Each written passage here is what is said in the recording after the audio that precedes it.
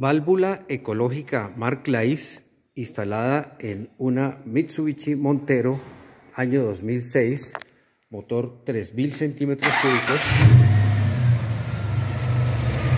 En el múltiple de admisión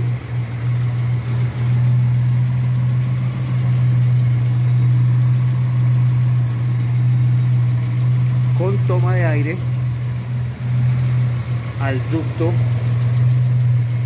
al purificador de aire antes del sensor de flujo para el ahorro de gasolina y reducción de emisiones contaminantes sin perder potencia del motor.